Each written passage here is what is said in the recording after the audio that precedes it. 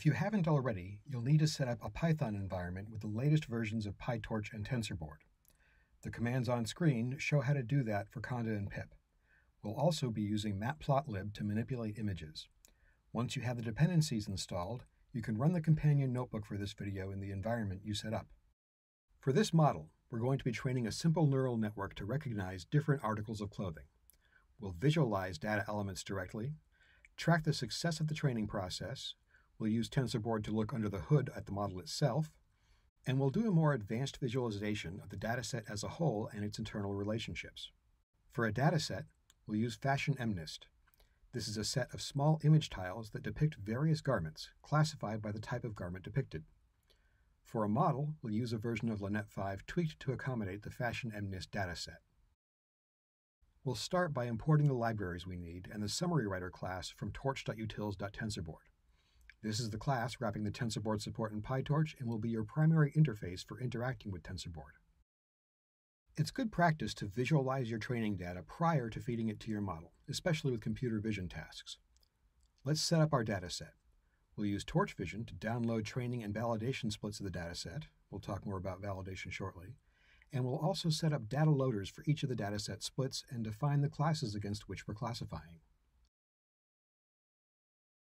Let's visualize a few instances of the dataset. We'll use an iterator to pull out a few instances of the data and create a matplotlib helper function to batch them together in a grid.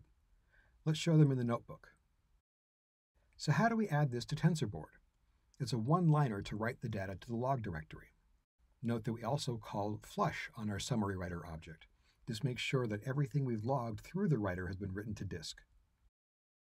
Now let's switch to a terminal and start TensorBoard. We'll copy the URL that the TensorBoard command line gave us and look at the Images tab. Note here that the image we've added has a header containing the label we applied when we saved the image to the TensorBoard log directory. Next, we'll use TensorBoard to help assess our training process. We'll graph the accumulated training loss for regular time steps and compare it to the loss measured against a validation dataset. For background, here's a brief aside on what we're doing and why. If you took a math class, it's likely that you'd be given homework problem sets to solve. After a number of homework sets, you'd be given an exam. The exam problems would be similar in nature, but different in their specifics to the homework problems you've seen already. This is intended to make sure you learned the content of the class and not just memorize the homework problems. Similarly, we can use a validation dataset, that is, a portion of the total dataset not used for training, to see whether our model is learning generally or whether it's overfitted to the training data, akin to memorizing the training instances instead of modeling the general function we're trying to optimize the model for. Let's set up a training loop with validation checks and graph the results.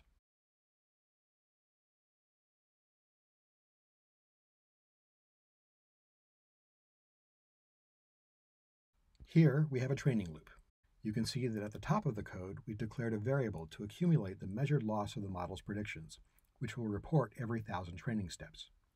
We'll also be doing a separate loss check against the validation dataset.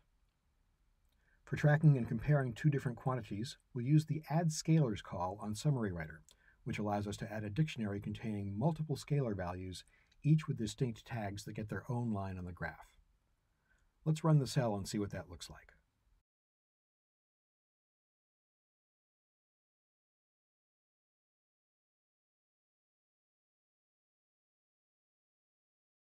Switching over to TensorBoard and looking at the Scalars tab, we can see that our loss is decreasing monotonically over the training run. This is a nice reassurance that the training is working. But are we overfitting? Looking at the graph, we can see that the validation and training curves are converging nicely. Next, let's use TensorBoard to better understand our model and how data flows through it. To do this, we'll use the add graph method on our summary writer. This method takes as arguments the model and a sample input that will be used to trace data flow through the model. We'll run the cell and switch over to TensorBoard. And going to the Graphs tab, we can see a very simple graph showing the model, with inputs going in one side and outputs emitted from the other. Of course, we'll want more detail than this, and we can get it by double-clicking on the model node in the graph. And here we can see a graph containing all of our layers and arrows indicating how data flows through them. Note that because the model uses the same max pool object twice, the second convolutional layer appears to be embedded in a loop. But as you can see from the code, the flow is more linear than that. We've already used TensorBoard to display visualizations of instances of our data, but what about the whole dataset? An embedding is a mapping of instances from a higher dimensional space to a lower dimension one. This is a common technique in NLP. If you have a 10,000 word vocabulary represented by one hot vectors, your words are unit vectors in a 10,000 dimensional space. If you train an embedding layer that maps these vectors to a lower dimensional space, relationships can emerge. For example, the new vectors for words like good, excellent, and fabulous will tend to be clustered in that lower dimensional space.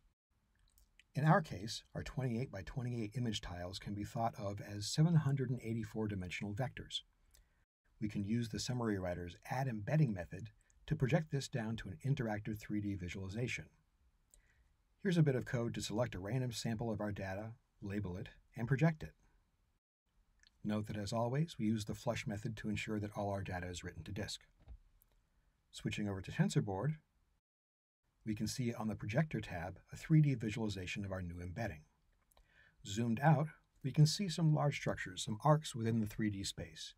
Zooming in on some of these structures, we can see that some of these arcs have clustered similar garment types. Zoom in on your own sample of the data and see if you can identify patterns in how different types of garments are clustered in this 3D projection.